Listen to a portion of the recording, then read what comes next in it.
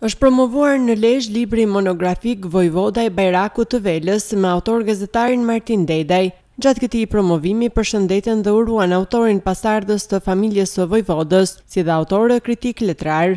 Të familjes Doda, Jam shumë krenar që kemi ardhë sot këtu në promovimin e librit të familjes time dhe gjithashtu Bajrakut të Velës në tërësi. Dua të bëj një falënderim për gjithë ju shok, miq, dashamirës të familjes time. Një falënderim dua të bëj për autorin e librit Zotin Martin Deda, që ka bërë një punë të palodhur, si dhe bashkëpunëtorit e tij, duke vazhduar me Zonjën Sharmandën, me gjyshin tim që ishte edhe ideatori i librit.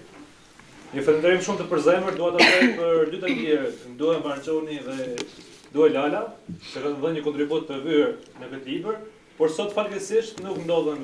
Dedaj, përveç se ka përshkruar në detaje familjen e Vojvodës, aktivitetin dhe kontributin e saj në fshatin dhe bajrakun Velë, dhe jo vetëm. Pinjollët fisnikë të kësaj dere, etj. Por i ka bërë një eksplorim të detajuar kësaj krahine. që spikat në vlerat dhe identitetin e saj, e jo vetëm, në dymbëdhjetë bajrakët e Mirditës, por në krejt viset e Shqipërisë së epërme dhe në rrafsh kombëtar. Vela në radhën e historisë. Vela ka dy maja, që rrinë si kokat e shqiponjës. Në mes është Divela, ose Diveli. Zoti vetë e ka përgatitur për punë të mbara.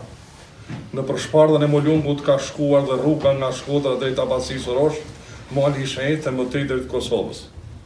Kjo sipas një studimi të hershëm timit.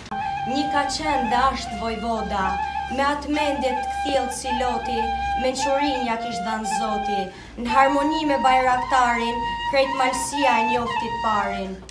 Marka Gegë Dodën e rriti Vela. Njoftë e ka, Mirdita e Lezha, Vela e vendit dhe krejt Malësia t'shenjta i ka vlerat e tija.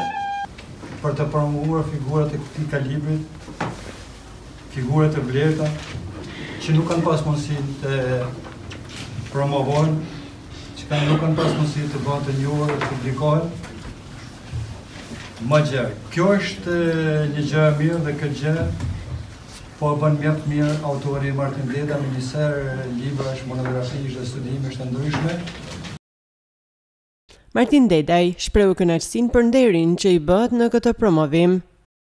Falënderuar të gjithë ju për pjesëmarrjen dhe gjithë ata që thanë fjalët e mira por dhe ato vërejtje që unë mu adresuan.